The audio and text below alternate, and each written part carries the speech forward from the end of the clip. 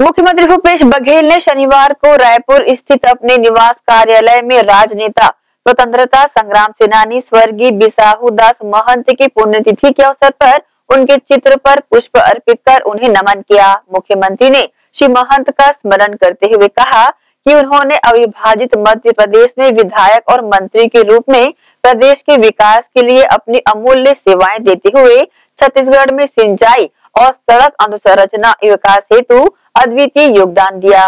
हसदेव बांगो परियोजना उनके सपनों का ही साकार रूप है।